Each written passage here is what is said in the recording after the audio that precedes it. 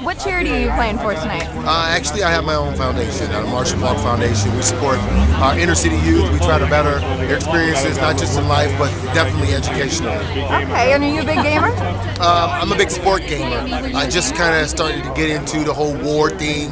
Um, I, I always tell people, you know, you you always play sport games and you want to be Kobe when you play basketball and LeBron. When you play war games, I don't know if I want to go to war. No, I don't no. know if I really want to go to war. So I really enjoy this one from the couch. You preparing yourself for war right now? I am, I am. I am. But from the couch, though. From the couch. All right. I'm not, I'm not gonna go out and practice any of these moves. now, have you played Battlefield before? Um, before now, no, no. Uh, but um, got a chance to play it. I've, I've been playing it for probably the last 30 or 45 minutes.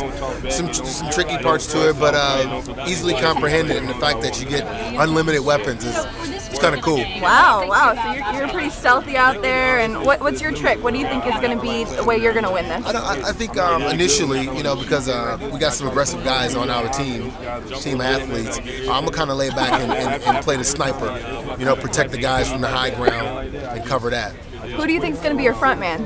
I don't know, you know, watching um, Sean Jackson, guy looks like, um, you know, he, he really he really knows what he's doing for for it being his first time playing the game. Uh, today, did a really good time. All right. Did a really good job. Well, good luck and good luck to the Marshall Faulk Foundation. Thank you. Your first and last name? Marshall.